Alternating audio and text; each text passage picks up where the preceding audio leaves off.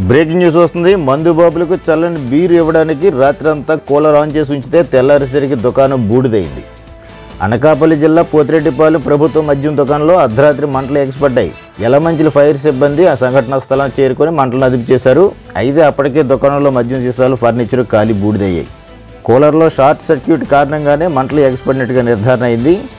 ఫ్రిడ్జ్లు కూలర్లు ఏసీలను నిరాటంకంగా ఆన్ చేసి వదిలేస్తే ప్రమాదమే మరి. దుకాణదారులు ఈ విషయమై అప్రమత్తంగా ఉండాల్సిన అవసరం ఎంతైనా ఉంది.